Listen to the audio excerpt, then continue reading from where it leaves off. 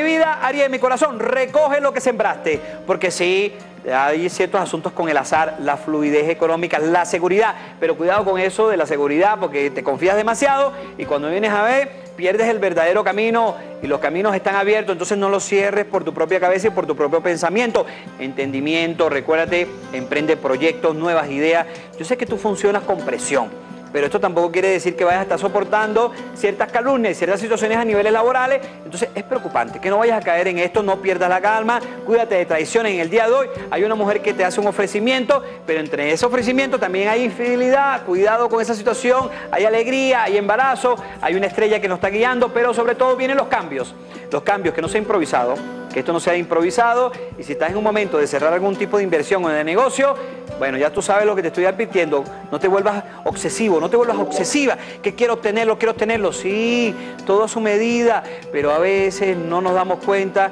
que tomamos malas decisiones, queremos todo inmediatamente y cuando vienes a ver, las cosas no resultan como nosotros lo habíamos planeado. Hola queridísimos amigos, soy Alejandro Sánchez y los invito a suscribirse a nuestro canal de YouTube y ahí va a ver nuestro programa Encuentro Interior.